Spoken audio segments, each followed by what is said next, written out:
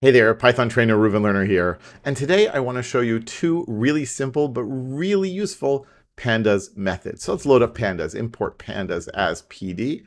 And now I'm going to look at oil prices. Oil prices, I think it's called the West Texas Index. So I'm going to say here file name equals WTI daily. This is the daily price of oil from somewhere in West Texas. If you know more about oil prices, tell me about it in the comments. Anyway, I want to create a data frame based on this. So I'm going to say df equals pd read csv of file name. If I just look at this, at this data frame I get, we can see that it has two columns. The first column is the date, and the second column is the price. Makes sense if we are looking at daily oil prices. Fantastic. But I want to make some changes here. I first of all want to say parse dates equals date so that we see it as a date time value and not as a string value. It's not really going to be that important here, but it just drives me crazy not to do that. And I'm going to say here index col equals date, and that's just going to make the date into our index column. And there we go. So now we have a data frame with one column. So you could almost call it a series, even though it's not. A data frame with one column here, price, and the index is the dates. So far, so good. So if I want to know, right, what were the 10 most recent oil prices, I can say df, and then I can just say tail of 10. And we see the 10 final prices there. Um, and we see here 2023, 918, so September 18th. It's a little bit out of date, but okay, I can deal with that. Fine. But here's the thing. What were the 10 most recent differences in oil prices from the previous day. That is to say, I'm not interested in finding out that on September 18th, it was 91.47. On September 15th, it was 90.83. I'm interested in finding out how much it go up or down relative to the previous day. This is a really useful kind of calculation to do, right? If you're looking at sales for your organization, if you're looking at income for your organization, if you're looking at expenses, basically a huge number of calculations that organizations do are looking at reports and saying, well, how much did things change? Did they change for the better or change for the worse? Well, I can say here df.diff. And df.diff is a method, of course, and there is a version for series as well. So if I said df of price of diff, df diff, and that returns a new data frame with exactly the same index as before. But now look, the values represent how much did things go up or down from the previous value. So if we look here, 9147, the previous day was 9083. So there it went up by, let's call it about 50 or so. And the previous day went from 13 to 83, so it went up by 0.7.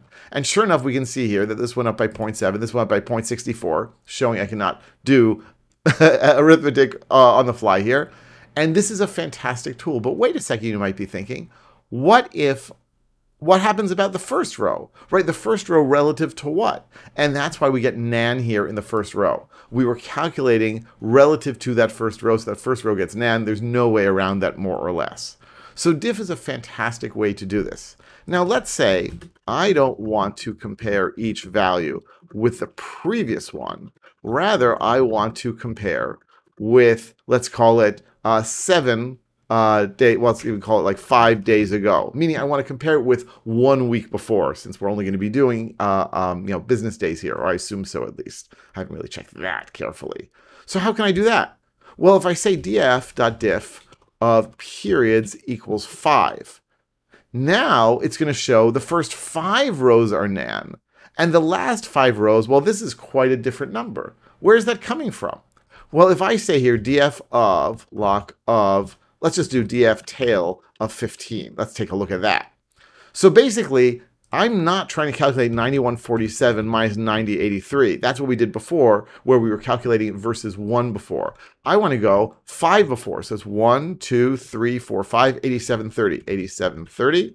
And that is 417. Look at that. 417. I'll do one more of these in case you're impressed by my calculation abilities. 9083 minus 1, 2, 3, 4, 5, 87, 51, 87, 51, and we get 3.319, and here we have 3.32. It's rounded off there, and so on and so forth. By the way, if you're a little freaked out that we get these wacky numbers here, that's the way floats are. That's for a different video, but floats uh, are kind of crazy, and you really should be rounding them or truncating them or something. So if you want to find out the difference between a value and the previous one, just use diff. You want to do the difference between a value and a particular number of values before it, you can say periods equals and specify that number. This is really great, by the way. For example, I've done calculations of inflation, and inflation is typically calculated year to year. So if you are looking at the November inflation numbers, you don't want to do a diff with 1 before, you want to do a diff of 12 before, so you'll be comparing November of this year versus November of the previous year. Okay, so periods equals very helpful. Well, this is all great, but what if I don't want to know by how much it changed? I want to know by what percentage it changed. Hmm, well, I could calculate that, right? That doesn't seem like such hard math, but why should I work hard? I can say df dot PCT change. And here we go. Once again, NaN is going to be in the first row there. And now each one is going to show me by what percentage things changed. So here from September 15th to September 18th, it went up by 0.007%, right? Not a huge change, but something, and so on and so on and so forth. Um, by the way, you can also say percent change. You say df percent change periods equals 5 and then it'll do the same thing as before, but instead of giving us uh, you know percentage row by row, it'll give us percentage do that skipping. I have found both diff and percent change to be incredibly useful in all sorts of reports, and I'm guessing that you will too, and now you know how to use them. Hope this was interesting. Please don't forget to subscribe because I got lots more Python and Pandas content coming. Let me know what you think. Give me feedback in the comments, and I'll be back soon with lots more videos about Python and Pandas.